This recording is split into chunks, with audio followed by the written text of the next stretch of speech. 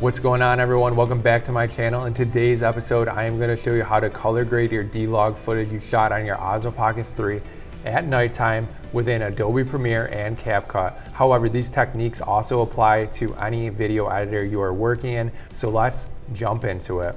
Okay, so now we are in Premiere Pro, and as you can see, I have already brought in some nighttime shots I shot one with my Osmo Pocket 3. This first set here is with the Pro Mist filter. Really love the footage I was able to capture with the Pro Mist filter at nighttime. And then I have just some nighttime shots I shot at New York. And then I also have some blue hour shots that I was able to capture in Charlotte. And I'm going to show you how to color grade all of this footage. So the settings I was using on my Osmo Pocket 3, I was shooting at 24 frames per second in 4K, and I was also shooting in D-Log because I wanted to maintain the most latitude between the highlights and the shadows. And also shooting D-Log is going to allow me to be able to color grade this footage with inside all these different softwares. And I am going to get the best results because I did shoot in a log profile on my Osmo Pocket 3. Okay, so as I mentioned, these clips here were shot with my Pro Mist filter, and that does add a whole nother factor when color grading. Because the Pro Mist filter makes everything a little bit softer, you do have to add a little bit more sharpness when color grading footage that was shot at nighttime with the Pro Mist filter. So the first thing I am going to do is create an adjustment layer. So I'm going to go new items, adjustment layer. And now I'm going to pop this adjustment layer over top of my existing footage here. And we are going to start with this clip here. So this is just a simple clip of an apartment complex downtown. So as you can see, it is nothing great right now, but we are going to really take this and transform this footage into something that's looking amazing. So after clicking on the adjustment layer, I am going to go up to Lumetri color and this is going to bring up my color panel. So within here, this is where I'm going to be able to make all the adjustments to my footage.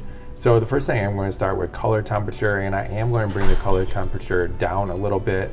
I am going to make this footage look a little bit more blue so you can see just a quick before and after. Nothing crazy, but I am adding a little bit more blue into my footage. And then the next thing I'm going to do is I am going to add an S-curve. So S-curves are incredible because this can really add a lot of contrast to the footage. And when you're shooting in D-Log, it is a flat profile and it is squishing all the highlights and shadows together. So adding an S-curve is really gonna stretch it out and that is what I'm going to show you right now. So I am going to start with my shadows, which is going to be the bottom half of this curve here. So we're just going to pull this down a little bit and as you can see it's bringing down all my shadows. But now we are losing a lot of the highlights. So I'm going to come up to the top of the curve and I'm going to add a new point here and I'm going to bring some of the highlights back into it.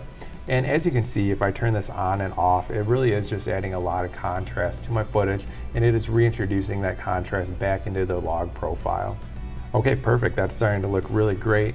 I am going to add a little bit more saturation back into this shot here. So let's go with 115. That's starting to look good. And this shot now does look a little bit darker than when I shot it. So I am going to bring up the exposure hair Maybe I'll bring it up one full stop. When I toggle my adjustment layer on and off, you can really start to see the differences this is having on my footage. The next thing I'm going to do is I'm going to go to creative and as I mentioned because this was filmed with a Pro Mist filter, a Pro Mist filter is going to soften your footage a little bit so we're going to bring that sharpness back into it right here in post. So I am going to go to the sharpen tab and I'm going to just bring this up a little bit probably around 20%. That's starting to look really good right there. Next, I am going to go back into my curves and I am going to click on the blue curve. And I do want to introduce some blues into the shadows here. So I am going to add a point in the middle and now I am going to just grab the shadows a little bit and lift the blues. And as you can see, it's starting to eliminate that yellow color we have and it's introducing a lot more blues into my footage. Hue versus saturation is pretty cool because if there's any color that I want to bring the saturations up in or if I want to bring the saturation down in, I can select that color and do so here. So we are going to bring the blues up a little bit. So I added a point there and a point there just so I have the whole blue spectrum. And as you can see, if I bring this up, it's gonna bring a lot of saturation into our footage. And if I bring it down, we're gonna lose a lot of that blue color saturation. So I'm just gonna bring this up a little bit. I think that's starting to look good. And again, you can toggle this on and off to see what the effect is doing to your footage. And next I am going to go to the yellows. So I'm just going to do at two points where the yellows are. And if I bring it up, I can see I am selecting a lot of those yellows in the lobby area there. And I want to eliminate some of the yellows, so I'm just going to bring the saturation of the yellows down a little bit.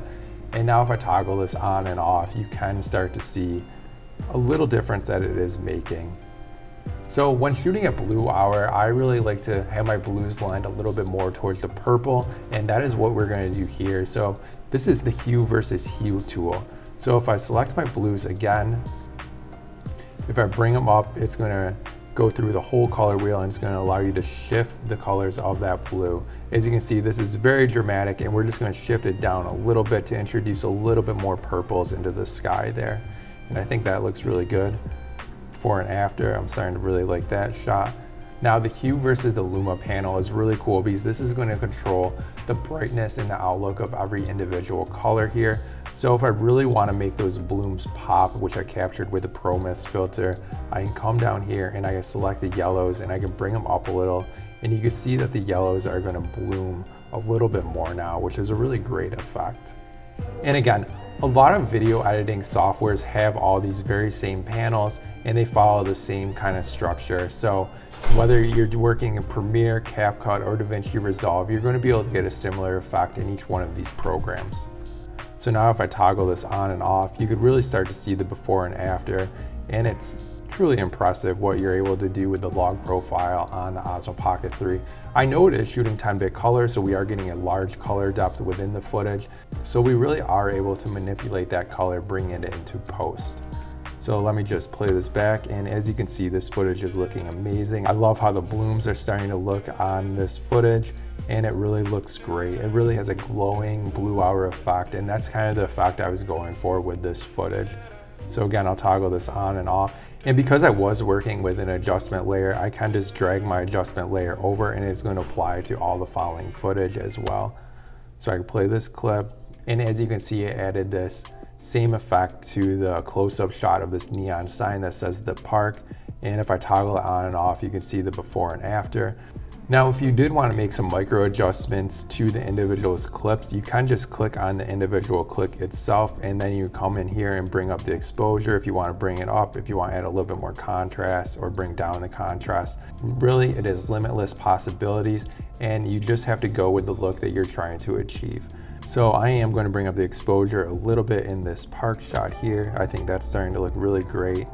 This clip is looking amazing. I love how all the yellow lights are blooming in this shot and it really gives me that blue yellow effect, which looks incredible, especially when using the Pro Mist filter at nighttime on the Osmo Pocket 3. However, I do know we did bring down the saturation in the yellows and in here I kind of want to bring back the yellow. So I am going to just cut my adjustment layer, bring that over, click on this adjustment layer up here and I am going to go back into the curves and I am going to bring the saturation of the yellow up and also bring the luminance of the yellow up a little bit just to really emphasize the glowing effect I was able to capture in this shot here. And I think that's starting to look really great. And as you can see, it's applying it to the next clip as well. And this clip doesn't need much work at all. However, I would go in here and maybe bring the shadows down just a hair and then bring the exposure up a little bit. As you can see, it didn't do much, but it's really just adding that extra punch to the footage here. Okay, so now I'm gonna show you color grading on some footage that I took in New York City, and this footage here was not used with a Pro Mist filter. This is just footage shot at nighttime with my Osmo Pocket 3. So to start, I am going to just bring this adjustment layer, which color graded the other footage as well, and see what that's starting to look like. As you can see, it's already starting to look great. I can toggle this on and off, and we are getting a lot of really nice colors at nighttime here. So let me play through this clip to see how this looks. That clip looks great. This clip looks great. One thing I am noticing because there are some bright lights in here, I am going to bring the highlights down a little bit just to cool down those highlights and make it a little more even. We can also bring the contrast down a little bit by going into our curves, selecting on the overall curve and then just bring up the shadows a hair and bring the highlights down a little bit starting to look really great. Let's see how it looks on this last clip here. Now this last clip here I know was shot very, very dark. This was 9 p.m. at night, so we didn't have much light in the sky and I am always impressed with the low light capabilities of the Osmo Pocket 3, so it did a great job at capturing this. We may just have to add a little bit more exposure to the shot. Let's bring up the exposure a little bit and then we'll just bring down those highlights and that's starting to look really great. You can see the before and after right here. So next, let's just uh, grab this adjustment layer and bring this over to our blue hour footage. So here is what our blue hour footage looked like with no LUT or no color grading to it. As you can see, it still looks really amazing. I love shooting at blue hour because the sky is pretty even with all the buildings around it and the yellow colors just pop on the blue sky. It really is a great time to film with your Osmo Pocket 3. But let me just add this color grade right here that we used from before. And honestly, this is looking really great.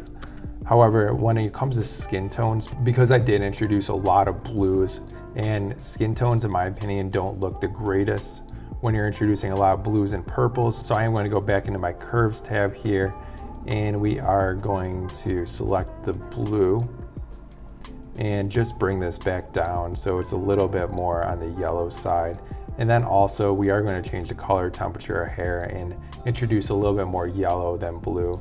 I think that's starting to make me look a little bit more natural in my skin tones. But as you can see, these shots just look absolutely incredible. Awesome, so that is color grading within Adobe Premiere. As you can see, I was able to really transform that footage I shot with the Osmo Pocket 3 at nighttime, and it's starting to look amazing. I do primarily use Adobe Premiere as my editor of choice. However, I know this is not a free software, so I am gonna show you how to color grade your footage within CapCut next. So let's jump into CapCut. And as I mentioned earlier, a lot of these editors are going to have the same looking panel. So really whatever you're doing in one, you're going to be able to do and copy in another editor. So let me just take this first clip here, which was shot in my D-Log profile on my Osmo Pocket 3. It's a good starting point, and the first thing I am going to do is I am going to make an adjustment layer. So if you grab this arrow here and you click on adjustment, click that plus sign and it will bring an adjustment layer into CapCut. And I am going to just drag this over my whole clip, very similar to what we did in Adobe Premiere. And now you can see I can make all my adjustments on this adjustment layer within CapCut and I could do the same thing where I could drag it over all my footage and it's going to apply that LUT to and it is going to apply that look to all the footage directly below it. So let me click on my adjustment layer and again we're just going to make this footage a little bit more blue, bring up the exposure hair, click on curves and we're going to add that famous S curve which I love to talk about it really is impressive how much footage can change by just adding a simple S curve. Now we're gonna go back over to basics, bring our saturation up, bring a little bit more contrast in there. And then I do wanna sharpen this again to around 20% just because I was shooting with that ProMist filter which really softens the footage. And now we are going to go back into our curves and CapCut does do it a little bit different where they already break the curves into the different red, green, and blue curves so you don't have to rotate in between one panel. So I am going to take my blue and I am going to introduce a little bit more blues into my shadows. And then their HSL is a little bit different too. So if I click on here, you can see when I click on each individual color, instead of having a curve, it really is just a slider. So if I grab my blues here, I can grab that and I can see what my saturation is and what it is going to affect within my image.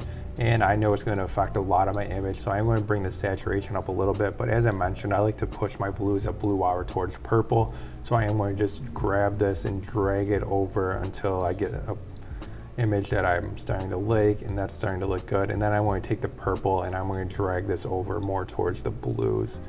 And honestly, this is starting to look great. And if you toggle V on and off, you can see your before and after. So that's starting to look really great. I'll make this full screen and play it back. And I'm getting a very similar shot as to what I was able to get inside Adobe Premiere. Again, I could just take this adjustment layer and I could drag it across all my footage and it is going to affect all the footage below. So I have this shot here of the apartment complex I was able to quickly color grade and then I automatically go into the shot of the park, the neon signs here. And it's truly impressive what you're able to do within CapCut. I'm always impressed with CapCut because it is a free software. Awesome, well thank you guys. As you can see, you could really make your footage pop within Premiere and CapCut. If you wanna take this a step farther, you can kind of color grade in DaVinci Resolve. Check out my video on color grading on DaVinci Resolve right here. Please like and subscribe to my channel because you know it helps my channel grow. Until next time, peace.